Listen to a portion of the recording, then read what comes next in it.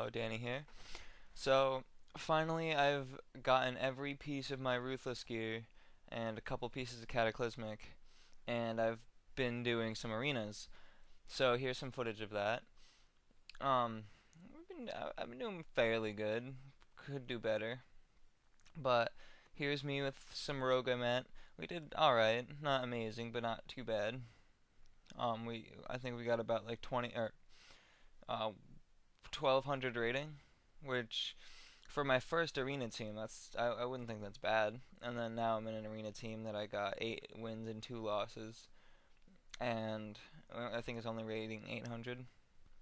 But I don't know. I figured this is a pretty good way to show my skill if I have any.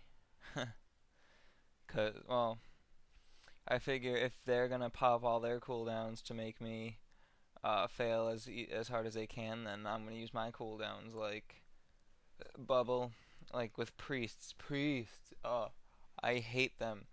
Mana burn is the most overpowered spell in my opinion. Like, I I can deal with two DPS on me. It's just I can't deal with two DPS on me when I have no mana.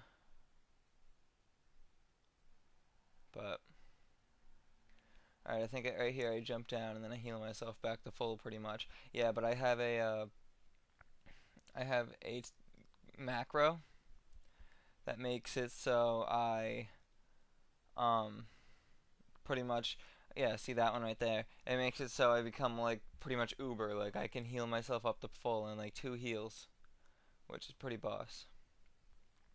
It must be very demoralizing is what I think about it, but... Alright, I will let you guys enjoy this duel. Um, it's been Danny here, and please subscribe, comment, and leave a like. It would mean a lot.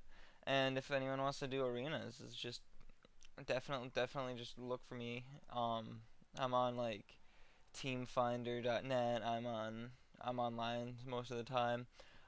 Uh, I've been playing my Hunter lately because I've hit the conquest cap on her. Or you can just message me on YouTube. It's perfectly fine. But Alright, I will talk to you guys soon, and I hope you enjoy the video. Bye.